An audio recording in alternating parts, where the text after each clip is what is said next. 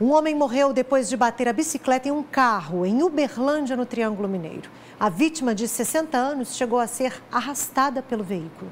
Um homem, após se chocar com sua bicicleta motorizada em um veículo, é arrastado por cerca de 30 metros. O registro desse acidente foi aqui, no cruzamento da Avenida Afonso Pena com a Rua Ceará. E segundo testemunhas, a vítima, identificada como Antônio José Paulino, 60 anos, trafegava aqui pela Avenida Afonso Pena e não percebeu que o semáforo tinha fechado. E com isso, ele avançou. Mas a condutora do veículo Ford Fiesta que subia aqui pela rua Ceará, não conseguiu frear. Com o impacto da batida, a vítima de 60 anos ficou desacordada, aguardando a chegada da equipe do Corpo de Bombeiros que fez o resgate e encaminhou o um homem ao Hospital de Clínicas da Universidade Federal de Uberlândia em estado grave. Até o fechamento desta matéria, a vítima se encontrava em observação. Mas infelizmente não resistiu aos ferimentos.